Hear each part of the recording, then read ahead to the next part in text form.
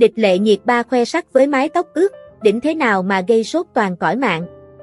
Cách đây không lâu, địch lệ nhiệt ba đã chính thức vào đoàn làm phim kiêu khởi thanh nhưỡng. Trong bộ phim này, cô nàng hợp tác đóng chính cùng chàng thái tử Đông Cung là Trần Tinh Húc. Ngay từ những hình ảnh clip đầu tiên, cặp đôi đã gây sốt vì ngoại hình quá đẹp. Trong hình ảnh được đưa ra mới đây, địch lệ nhiệt ba lần nữa khiến dân tình choáng ngợp. Theo đó, có vẻ như đây là phân cảnh nữ chính nhiếp cửu la của kiêu khởi thanh nhưỡng đang gội đầu, mái tóc ướt rối bời không hề làm giảm đi vẻ đẹp của cô nàng, mà thậm chí còn giúp nàng mỹ nữ tân cương bùng nổ nhan sắc. Địch lệ nhiệt ba trông vừa có vẻ kiêu kỳ lại vừa quyến rũ, loạt ảnh mới của cô nàng vừa được đưa ra đã gây sốt toàn cõi mạng. Nhiều ý kiến bày tỏ, ở kiêu khởi thanh nhưỡng, nhan sắc của địch lệ nhiệt ba thăng hạng rõ rệt, chỉ là ảnh liếc mờ, thế nhưng nàng mỹ nữ Tân Cương vẫn đủ sức làm siêu lòng bất kỳ ai. Tuy nhiên, có một điểm khiến công chúng chưa hài lòng, đó là tổ tạo hình của Kiêu Khởi Thanh Nhưỡng. Kiêu Khởi Thanh Nhưỡng là dự án đánh dấu lần hợp tác đóng chính đầu tiên của địch lệ nhiệt ba và Trần Tinh Húc.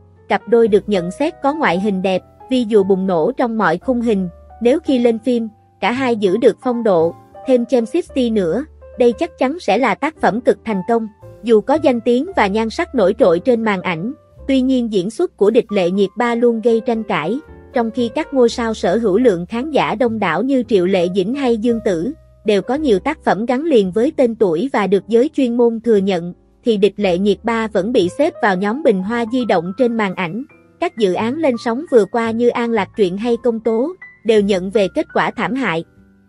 Trái ngược với địch lệ nhiệt ba, kỳ phùng địch thủ của cô là Dương Tử lại có nhan sắc phù hợp với các dự án cổ trang hơn hiện đại. Nếu phim cổ trang của Dương Tử liên tục thành công, ra phim nào hot phim đó, thì phim hiện đại của cô lại không may mắn. Cụ thể, phải kể đến dự án cổ trang trường tương tư ra mắt vào cuối năm 2023 của Dương Tử, đã trở thành bom tấn màn ảnh. Tuy nhiên, dự án hiện đại muốn mãi mãi yêu lên sóng vào đầu năm nay của cô đóng cùng Phạm Thừa Thừa, lại flop thảm hại. Top 5 phim giúp Bạch Lộc thành nữ thần cổ trang thế hệ mới. Bạch Lộc là một trong những sao nữ chính ít nổi bật nhất của Cbiz hiện nay, sở hữu kho tài phim ảnh đồ sộ, Bạch Lộc dần tạo vị thế vững chắc trên màn ảnh nhỏ, cùng điểm lại những tác phẩm cổ trang giúp cô trở thành nữ thần cổ trang thế hệ mới. Chiêu Diêu Chiêu Diêu là dòng phim cổ trang huyền ảo được chuyển thể từ tiểu thuyết cùng tên của tác giả Cửu Lộ Phi Hương. Đây là tác phẩm tiêu biểu đánh dấu sự chuyển mình mạnh mẽ của Bạch Lộc trên con đường diễn xuất. Trong phim, Bạch Lộc hóa nữ ma đầu lộ chiêu diêu kiêu căng, ngạo mạn, cô vốn là giáo chủ lục vạn môn võ công cao cường, danh tiếng lừng lẫy. Thế nhưng, trong một lần thu phục kiếm khí của ma giáo đời trước, lục chiêu diêu bị người từng được mình cứu là Mạc Thanh, do hứa khải đảm nhiệm, làm trọng thương. Năm năm sau, chiêu diêu tình cờ trở lại nhân gian với thân phận khác là Cẩm Chi Yên. Lúc này Mạc Thanh đã gây dựng lục vạn môn ngày một lớn mạnh, không cam lòng, chiêu diêu tiếp cận Mạc Thanh với tư cách học trò, hồng trả thù anh, nhưng khi cả hai trải qua nhiều kiếp nạn sinh tử, Chiêu Diêu dần nảy sinh tình cảm với Mạc Thanh, trong lúc cô đang băn khoăn lựa chọn yêu hay hận, thì Mạc Thanh từ đầu đã phát hiện thân phận thực sự của cô. Châu Sinh Như Cố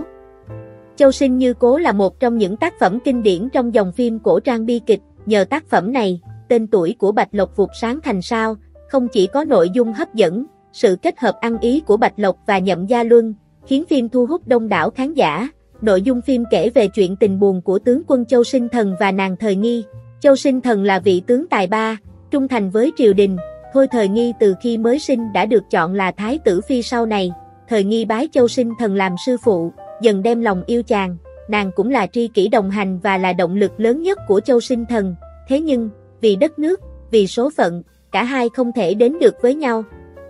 Trường Nguyệt Tẩn Minh Nội dung phim xoay quanh ba kiếp yêu hận giữa ma thần Đàm Đài Tẩn và con gái của trưởng môn hành dương tiên tông Lê Tô Tô, để cứu vớt chúng sinh khỏi sự tàn bạo của ma thần. Lê Tô Tô tình nguyện trở lại quá khứ 500 năm trước, khi đó, Đàm Đài Tẩn chưa trở thành ma thần, bị gia tộc hắc hủi. Lê Tô Tô đã dùng sự chân tình để cảm hóa Đàm Đài Tẩn, để rồi khi nàng hy sinh vì yên bình của tam giới, Đàm Đài Tẩn mới nhận ra được tình yêu của bản thân, tình tiết phim lôi cuốn khi thân phận của Lê Tô Tô và sự tích ma thần của đàm đài tẩn dần được hé lộ. Ninh An Như Mộng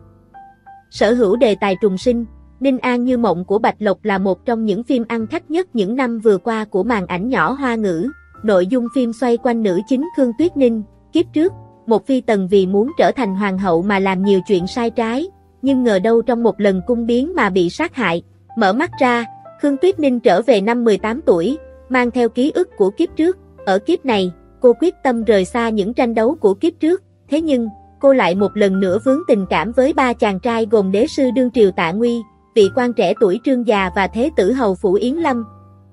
Bạch Nguyệt Phạn Tinh Bạch Nguyệt Phạn Tinh là dự án mới nhất của Bạch Lộc, được công chúng đặt kỳ vọng rất cao. Đây là bộ phim đầu tiên mà Bạch Lộc tham gia, khi cô bước lên hàng ngũ sao hạng A của làng giải trí hoa ngữ. Sự thành công của bộ phim này ảnh hưởng quan trọng đến con đường diễn xuất của Bạch Lộc trong tương lai. Nội dung Bạch Nguyệt phản Tinh kể về chuyện tình trắc trở của hai vị thượng thần trên cửu trùng thiên. Thượng thần Nguyệt Di đem lòng yêu mến vị chân thần tối cao Thiên Khải, nhưng trong lòng Thiên Khải luôn ẩn chứa hình bóng của một người con gái khác, biến cố ập đến thần giới. Nguyệt Di đã hy sinh thân mình để bảo vệ Thiên Khải, tan biến trong đất trời. Lúc này Thiên Khải mới thấu hiểu được lòng mình, nhưng đã quá muộn. Thiên Khải rời khỏi thần giới, quy ẩn tại nhân gian. Một ngàn năm sau, thiếu nữ người phàm bạch thước, nhị tiểu thư của phủ tướng quân, nhưng vì báo ân mà đã quyết chí tu tiên, cô gặp gỡ thủ lĩnh của yêu tộc Phạn Việt, cả hai cùng nhau trải qua nhiều cửa ải sinh tử, dần nảy sinh tình cảm, với vốn đầu tư khủng và dàn diễn viên trẻ đang lên tham gia diễn xuất, Bạch Nguyệt Phạn Tinh được kỳ vọng sẽ tạo một cơn địa chấn sau khi phát sóng. Tình cũ tiêu chiến đẹp điên đảo, e ấp bên nam thần Lý Hiện. Khi đóng ngọc cốt giao cùng tiêu chiến, Nhậm Mẫn từng bị dân tình gọi với biệt danh Mẫn heo vì vẻ ngoài không được xinh đẹp, cô nàng lộ nhiều khuyết điểm khi lên hình, bị chê không xứng đôi với nam thần Trần Tình Lệnh. Sau chưa đầy một năm, Nhậm Mẫn đã khiến khán giả phải quay xe nườm nượp với vẻ ngoài xinh đẹp, khi sánh đôi cùng nam thần Lý Hiện trong hoạt động mới. Theo đó, ngày 15 tháng 4, Nhậm Mẫn cùng đoàn phim truyền hình quần tinh lấp lánh, đã có buổi tuyên truyền cho dự án mới tại trụ sở Sina, đồng hành cùng Nhậm Mẫn còn có dàn diễn viên Châu Du, Tống Ninh Phong và Lý Hiện, sao Nam đang vướng nghi vấn phim giả tình thật với Lưu Diệt Phi, từng bị gắn mắt mẫn heo với gương mặt tròn vo, cánh mũi to, khi đóng ngọc cốt dao, lần này nhậm mẫn cho thấy sự lột xác về mặt ngoại hình, nữ diễn viên diện sườn xám màu trắng ngà, khoe tỷ lệ cơ thể hoàn hảo, việc lựa chọn kiểu tóc, kiểu trang điểm phù hợp, cũng giúp nhan sắc tình của tiêu chiến thăng hạng thấy rõ, ở các góc máy cận, nhậm mẫn khoe ngũ quan hài hòa, làn da trắng mịn không tì vết. Về phía Lý Hiện, nam diễn viên diện vét sáng màu lịch lãm, khi đứng cạnh nhậm mẫn, cả hai trông rất cân xứng về cả nhan sắc lẫn chiều cao, tạo nên phản ứng hóa học bùng nổ. Khán giả khắp nơi đẩy thuyền nhiệt tình nhậm mẫn với Lý Hiện, đồng thời trông chờ màn thể hiện của cặp đôi trong dự án mới. Phim quần tinh lấp lánh lên sóng từ ngày 15 tháng 4 trên khung giờ vàng đài Hồ Nam và Mango TV. Nhậm Mẫn sinh năm 1999, được biết đến với biệt danh Tiểu Châu Tấn, cùng với Vương Sở Nhiên, Triệu Lộ Tư, Nhậm Mẫn được kỳ vọng sẽ trở thành ngọc nữ màn ảnh thế hệ mới của màn ảnh hoa ngữ. Những tựa phim có sự tham gia của Nhậm Mẫn có thể kể đến như Bi thương ngược dòng thành sông, Thanh Bình Nhạc, Ngọc Quốc Giao. Dương Mịch và Lưu Thi Thi cùng tham dự sự kiện, hai người ngồi cạnh nhau nói cười, có ai để ý đến đường yên không?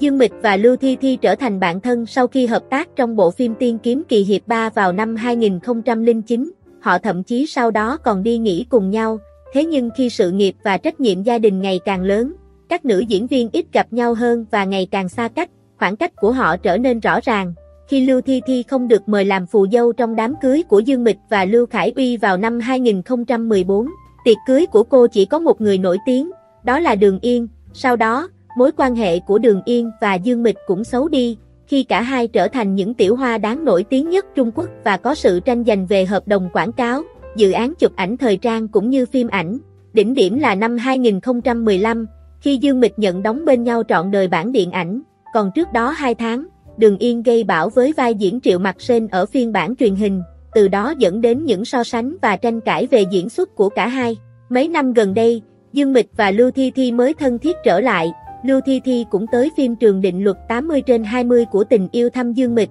năm 2023, Lưu Thi Thi cũng đã khiến người hâm mộ rần rần, khi đăng tải hình ảnh cùng thổi nến, cắt bánh với Dương Mịch nhân dịp sinh nhật lần thứ 37 của cô nàng, còn về phía Dương Mịch và Đường Yên thì không có dấu hiệu hàng gắn, cả hai thường né nhau khi cùng tham gia chung sự kiện, còn nhớ năm 2021, sự kiện cũng do tạp chí Marie Claire tổ chức, khiến dân tình hoa mắt chóng mặt, bởi sự xuất hiện của dàn sao cực hot, Đáng chú ý là sự kiện này cũng có mặt ba cái tên là Dương Mịch, Lưu Thi Thi, Đường Yên. Có thể thấy, Dương Mịch và Lưu Thi Thi rất thân thiết, còn Đường Yên lại như tách biệt, dù có chụp ảnh nữ diễn viên cũng né không đứng sát cạnh Dương Mịch. Ở hậu trường, Dương Mịch và Lưu Thi Thi cũng trò chuyện khá vui vẻ, còn Đường Yên thì tách biệt hoàn toàn. Vì vậy, việc xuất hiện cùng nhau trong cùng một khung hình, không có nghĩa là tình chị em của họ đã quay trở lại, mà có thể là để gây sự chú ý, hoặc là sự sắp đặt của công ty. Điều này khiến khán giả không khỏi tiếc nuối cho tình chị em từng thân thiết của bộ ba này. Video đến đây là hết. Hãy cho chúng tôi biết ý kiến của bạn về vấn đề trên bên dưới phần bình luận. Cảm ơn các bạn đã theo dõi video của kênh Chuyến Tàu Bát Quái. Nếu thấy hay và hấp dẫn, các bạn hãy bấm đăng ký và chuông thông báo để nhận những video mới nhất nhé.